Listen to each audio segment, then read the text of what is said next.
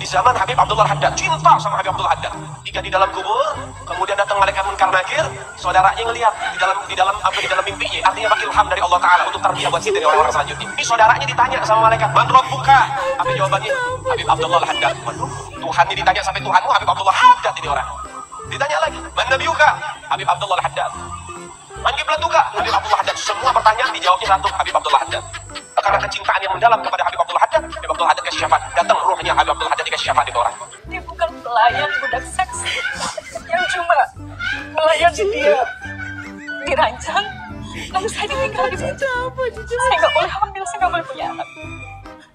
Mbak, mohon maaf Kita ketemu, Selama tiga tahun ya mbak. ya kita ketemu tuh paling satu jam dua jam terus saya ditinggal gitu aja. Udah selesai berhubungan, udah ditinggal. saya mau menanyakan Yang paling menyakitkan hati saya itu adalah saya tidak dibolehkan hamil, saya tidak dibolehkan punya anak. Saya harus dipaksa memakai atau menyiapkan alat kontrasepsi gitu ya baru saya akan dinafkahi batin.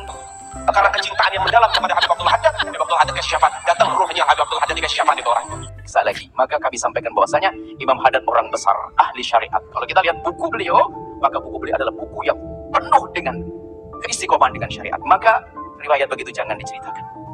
Pertama mungkin bohong dinisbatkan pada Imam Haddad. Imam Haddad ahli syariat. Pertanyaan di dalam malam barzah sudah sangat jelas. Sangat jelas. Kita kan ada aturan akidah. Imam Haddad orang besar. Kalau ada orang menukil cerita-cerita Imam Haddad, jangan gampang dipercaya. Kalau fatwanya menentangkan umat demi Allah, demi Allah, demi Allah.